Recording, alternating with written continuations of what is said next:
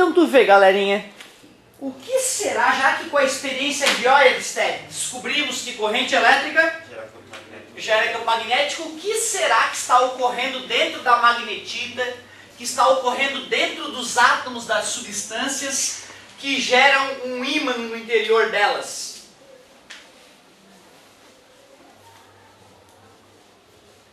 O que, que será que está acontecendo aqui no interior da Terra que faz a Terra ser um ímã? Corrente elétrica. Que corrente elétrica é essa que tem no interior dos átomos? É, elétron não é carga elétrica. O elétron está parado? É uma mini corrente elétrica, né, porra? Então cada maldito elétron que gira gera em volta de si campo. Se tiver um outro que gira para o mesmo lado fazendo a mesma coisa, anula. Mas se na distribuição eletrônica lá tiver três setinhas para cima no diagrama lá do, do P, né? Três para cima? Quer dizer que tem três elétrons girando para o mesmo lado e não tem um outro girando no sentido oposto, né? Está desemparelhado o orbital, não é isso? Isso deve gerar um comportamento magnético mais intenso do que as substâncias que têm os seus elétrons todos emparelhados, né? Certo? Por isso que através da distribuição eletrônica a gente consegue definir se o material é dia, para, né, ou ferromagnético. Inclusive, na física mais avançada, o cara sabe, nos estudos que se faz, qual substância deixa de ser paramagnética e passa a ser diamagnética, em que temperatura que isso ocorre, embora que no ensino médio a gente só fale do ponto Curie, né, que é quando perde o ferromagnetismo. Mas então, mais estudos mais para frente, a gente consegue perceber que é corrente elétrica então a parada. Se existe campo magnético em algum lugar, é porque tem carga elétrica se mexendo naquele lugar. Ou seja, no interior da Terra tem que ter correntes elétricas, altíssimas correntes elétricas no, né, no interior da Terra. E dá até para saber qual é o, que forma tem essa corrente elétrica, com que eu vou te mostrar agora. Então olha só, só para a gente começar a entender um pouco melhor o que está acontecendo. Vamos pegar um fio reto e longo, bem comprido, infinito. Se a gente pega esse fio, por exemplo, bota numa folha de papel, atravessando uma folha de papel, e joga ferro em pó nessa folha de papel e liga a corrente elétrica no fio, na hora que a corrente elétrica se estabelecer no fio, vai aparecer um campo magnético em volta desse fio e a limalha de ferro reage ao campo magnético, não é? Aí dá pra ver com o formato que ela for se agrupar, as linhas de campo essas linhas de campo aqui, elas são redondas, elas são circulares. Deixa eu fazer o fio assim, que eu acho que eu vou conseguir desenhar com mais facilidade. Vamos imaginar que está aqui a folha de papel. Certo? Tem a limalha de ferro. Nós veríamos a limalha de ferro se agrupando em círculos perfeitos, bem próximos do fio. Ó. Só que, claro, quanto mais longe do fio, mais afastadas são essas linhas de campo. Vamos supor que a corrente elétrica esteja apontando para cima. Se nós pegássemos uma bússola e viéssemos aqui em volta do fio, nós veríamos que a bússola em cada região aponta para um lugar. Se o meu norte é na ponta dos meus dedos, ela apontaria para lá, aqui, ó. Aqui ela apontaria lá para o fundo. Lá atrás do fio ela apontaria para a esquerda. Aqui ela apontaria para vocês a bússola, certo? Como é que a gente define para onde é que estão as setas das linhas de campo? É a regra da mão direita é só tu pegar o fio e pegar o fio com a mão direita. Se tu pegar o fio com a mão direita, o dedão tem que ser no sentido da corrente, tá vendo? Ó?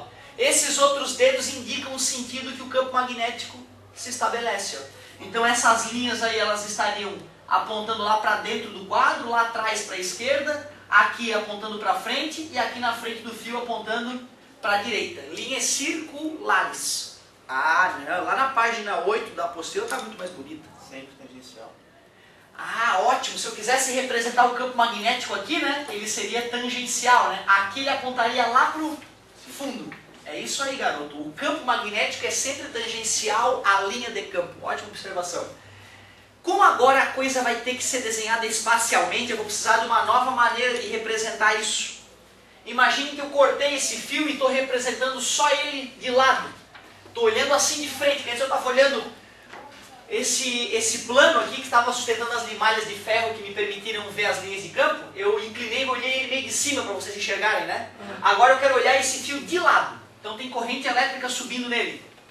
Para representar o campo magnético, eu farei o seguinte, ó, a regra da mão direita, aqui o campo está entrando. Eu posso fazer bolinhas com um xizinho para mostrar que tem alguma coisa penetrando no quadro. Aqui eu faria bolinhas menores com um xizinho. Por que menores? O campo é, o campo é menos intenso. Aqui, como o campo está saindo do quadro, eu faria bolinhas com um pontinho. A galera didaticamente fala que a pontinha é a ponta da flecha. E o xizinho é a bundinha da flecha penetrando. A pontinha é a ponta da flecha vindo para o teu olho. E aqui é a bundinha da flecha que entrou. Certo? Aqui seria assim, né? O que, que eu estou falando então? Aqui tem linha de campo, ela é circular, tá vendo? Ela é circular, agora só estou olhando de lado, assim eu estava olhando em perspectiva. Certo? A gente vai começar a usar, é internacional, tá? No Turcomenistão também, a bolinha com xizinho no vetor perpendicular ao plano que foi desenhada a bolinha, penetrando nesse plano. Uma bolinha com um pontinho representa um vetor, é sempre campo magnético, professor? Não, não. Pode ser outro tipo de vetor, tá gente? Nesse caso é campo magnético, mas eu posso usar essa bolinha com xizinho sempre que eu precisar representar um vetor perpendicular a, a, ao papel que eu estou desenhando, ao quadro, entrando ou saindo perpendicularmente desse plano. É internacional, então, essa maneira de representar. Mas o negócio é como calcula, né, cara? É isso que eu estou agoniado para te mostrar. Então, olha só que bacana. Eu quero calcular o campo magnético. Eu quero calcular o campo magnético gerado por esse fio que está sendo percorrido por uma certa corrente elétrica. Eu quero fazer isso nesse ponto aqui, ponto G. Esse ponto G está a uma distância R do fio. Primeira coisa, galera, tu concorda que é a corrente elétrica que está gerando o campo magnético? Tu concorda que quanto maior for a corrente elétrica, mais intenso vai ser o campo magnético? E se for zero a corrente elétrica? Não tem. Então, com certeza, a nossa fórmula, o I tem que estar incluso. E se dobra o I, dobra o campo. Triplica o I, triplica o campo. 10 vezes menor a corrente, 10 vezes menos campo. Faz sentido? Diretamente proporcional. Obrigado. Tu também deves concordar comigo que o material que tem em volta do fio interfere. Se for vácuo é uma coisa, se for concreto deve ser outra. Ou seja, o campo magnético ele se estabelece melhor em alguns materiais, pior em outros. E isso a gente mede com a permeabilidade magnética, nome justo, hein? Permeabilidade magnética, o quanto o material é permeável ao magnetismo. Isso nós vamos representar por uma letrinha grega, Mi. Esse Mi é um daqueles que a gente decora. O Mi do vácuo é 4π vezes 10 na menos 7. Então é um valor que a gente vai usar tantas vezes, tantas vezes, que uma hora a gente vai decorar esse valor. 4π vezes 10 na menos 7. Só que vem cá, já que é uma linha circular, isso não sugere que aquele campo magnético foi diluído naquela linha toda?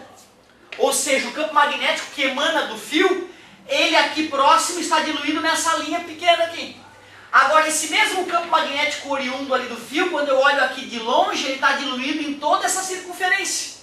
Ou seja, eu vou pegar o campo magnético gerado numa certa região, que depende da corrente, depende do material que está ali, e vou diluir numa circunferência. Qual é o tamanho de uma circunferência? 2πr. Pronto, eu divido por 2πr, que é o tamanho da circunferência da linha de campo em que eu estou. Então tu vê, né? É até um pouco intuitivo. Depende do I, depende do material, e essa força que emana dali, esse campo melhor, né? Que emana dali está diluído circularmente ao redor do fio. Então quanto mais longe eu estou do fio, maior o R, maior a linha na qual esse campo magnético foi diluído, menor a intensidade do campo magnético. O pi da circunferência 5 vai cortar com mi. Pois é, cara, bacana, né? Um amigo, um colega me perguntou, professor, uma outra turma, um guri que tem um rendimento bem acima do, da média. Tem dois alunos do terceirão aí que eles são, eles desde o primeiro ano eles vêm em todas as assistências, né? Eles estão há três anos vindo nas assistências no outro colégio, eu não, não dei aula para eles no primeiro e no segundo ano, mas eu conheci eles porque eles vinham na assistência e usavam assistência todo dia. Questões, nem questão da apostila, eles traziam questão de Olimpíada, questão da... Só, só coisa, eu chegava na aula eu sabia que ia dar encrenca. Que era uma coisa boa no meu caso, era eu ficava feliz. Então são guris que, né, eles são considerados gênios lá no coleginho onde eles, onde eles estudam, mas é só porque eles fizeram exercício durante três anos seguidos, vindo em toda assistência, toda assistência, e os caras são muito acima da média, né? É, eu fico até às vezes com pena do aula para eles que eles não precisavam estar assistindo as minhas aulas normais. As minhas aulas normais não servem para eles. Eles tinham que estar em casa fazendo exercício e vindo para assistência tirar dúvida, que é assim que a gente aprende, né? não é assistindo aula idiota. É, e aí os, o menino perguntou exatamente isso. Ô professor, o pi é um valor constante, né? O mi zero é um valor constante, me falou, né? É. Então por que, que não juntou esses dois num único valor constante? Né? Aí eu falei, não, não, é porque o cara, o Faraday, que o cara que desenvolveu essas ideias, ele era religioso. E na religião dele tinha um tal um círculo. O círculo, não sei das quantas, então tu tinha que ajudar o próximo, porque o próximo ia ajudar o próximo, ia ajudar o próximo, e aí volta, entendeu? Um bem circular, ele, ele tinha esse setor, essa parte esotérica na vida dele. E ele via as linhas de campo circulares ali. Então ele quis usar o 2πr. Então realmente o pi ali, O 2 também, né? Porque 2 não é uma constante Pi também não é uma constante. Eu posso juntar essas duas constantes nessa constante que é Mi zero. E detalhe, olha só quem é o Mi zero. É 4π vezes 10 na menos 7. Pô, então por que, que o animal não cortou o 4π com 2π e deu 2? Né?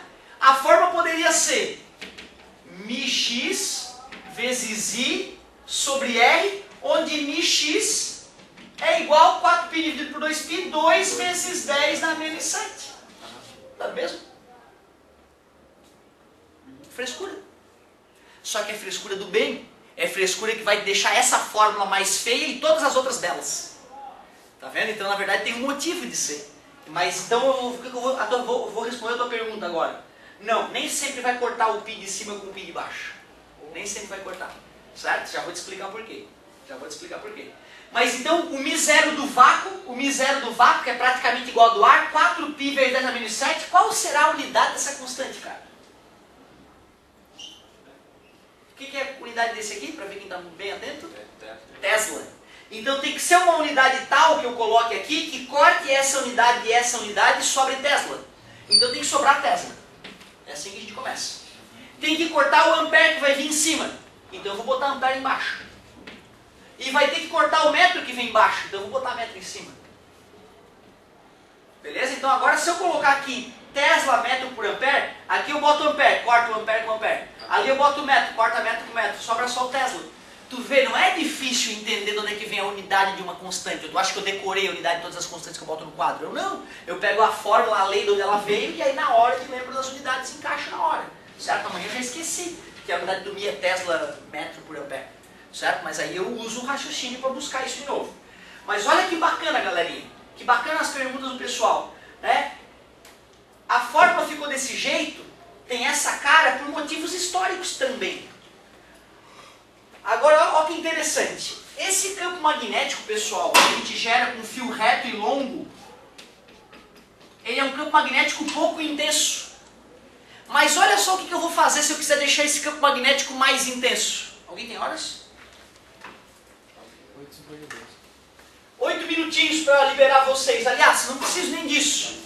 Três minutos eu preciso só e está liberado para estudar para história. Estou muito feliz com a concentração de todos. Olha só. Já que o fio reto, eu meço o campo magnético aqui, dá, não dá o que eu queria, eu queria mais poder de campo magnético, eu já sei o que eu vou fazer. Eu vou pegar esse fio e vou enrolar ele em volta de um ponto. Quando eu enrolar ele em volta um ponto, aqui está gerando campo magnético. Aqui está gerando campo magnético. Esses campos magnéticos aqui que está, ficaram para dentro da, do círculo vão se concentrar. Então quer dizer que lá no centro desse fio enrolado numa circunferência, o campo magnético vai ser mais intenso do que se o fio estivesse reto. O nome desse formato aqui é expira. Expira, quando a gente enrola um fio numa circunferência perfeita. Agora adivinha quantas vezes mais poderoso vai ficar o campo magnético nesse caso? Depende do número de voltas, mas é uma volta só expira. Mas já que o amigo falou, se fossem várias voltas, galerinha de fio, tá vendo? Ó? Várias voltas já é um solenoide. Solenoide. É um eletroímã. A gurizada na feira de ciência tinham vários eletroímãs. Em algumas, é, algumas da, dos estantes ele explicava né, a origem do eletroímã. Ou seja, pega um prego, enrola um monte de fio esmaltado, passa a corrente elétrica em volta desse prego é um ímã. É assim que funciona aquele eletroímã que liga e desliga dos filmes de ação lá, que tem o, o herói dentro do carro, e aí o bandido tá no eletroímã sempre, né? E aí vai lá e blá, gruda o carro, né? E aí vai, na hora que aperta um botão, corta a corrente elétrica, tira o ímã, o carro cai no triturador, né? Com o mocinho lá dentro, começa a triturar e salva o mundo depois. Certo? Mas a tua colocação? Isso também seria os captadores de guitarra. Claro, é tudo solenoide, é isso aí, é isso aí. Então, para poder entender disso, o Hendrix, ele manjava disso. Ele pegava a, a, a, guitarra dele, a Fender dele, pegava a solenoidezinha do sensor e desenrolava algumas voltas para deixar o sensor menos sensível. Aí ele parecia ter mais domínio que os réis mortais que usavam as mesmas guitarras, mas é porque ele, ele, ele avacalhou com a guitarra dele, ele tirou a sensibilidade da guitarra dele. Aí mesmo com o LSD grudado na testa e doidão, né, ele parecia um super controle da guitarra, mas não, mas não. Né, ele manjava de física, ele manjava um pouquinho de física, o Hendrix, certo? É isso também que fez ele se destacar. Ele, fica à vontade, minha querida. Fica à vontade. Depois eu falo da expira. A formulazinha da expira é a mais bonitinha, galerinha.